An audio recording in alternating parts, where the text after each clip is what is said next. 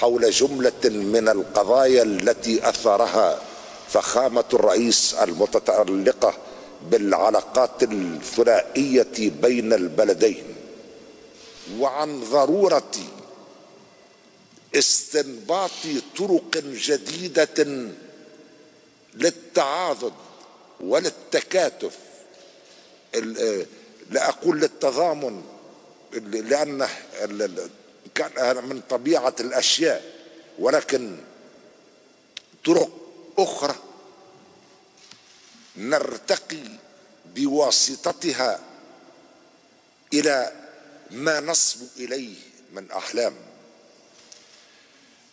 كانت أحلامنا كبيرة في وقت من الأوقات وكانت العقبات شديدة ولكن ما دام الشعب بخير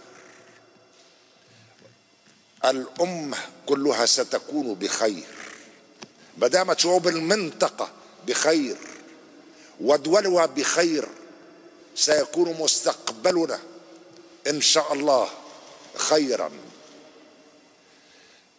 قضايا تولى الإشارة إليها فخامة الرئيس شقيقي السيد عبد الفتاح السيسي حول القضايا الثنائية التي سنتجاوزها بكل سهولة ويسر.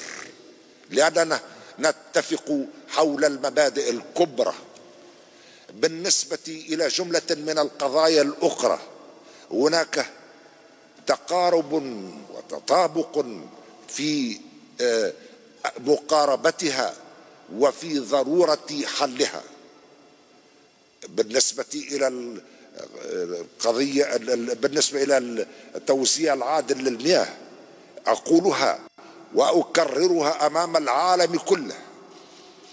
نحن نبحث عن حلول عادلة ولكن الأمن القومي لمصر هو أمننا وموقف مصر في أي محفل دولي سيكون موقفنا. أقول هذا عن قناعة تامة لأننا قرأنا التاريخ جيدا ونستشرف المستقبل جيدا ولن نقبل ابدا. بأن يتم المساس بأمن الأمن المائي لمصر. سيادة الرئيس تحدث منذ قليل عن حلول عادلة. نعم عن حلول عادلة ولكن ليس على حساب مصر وعلى حساب أمتنا.